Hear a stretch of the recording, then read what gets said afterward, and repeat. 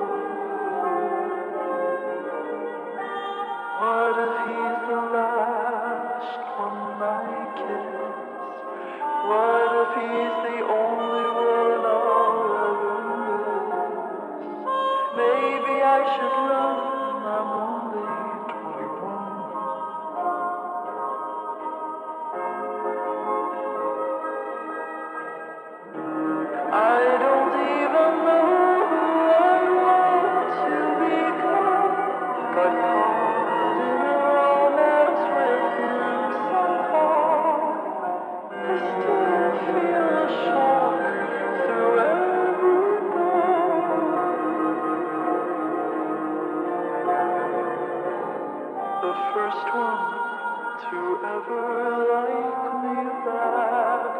I'm second to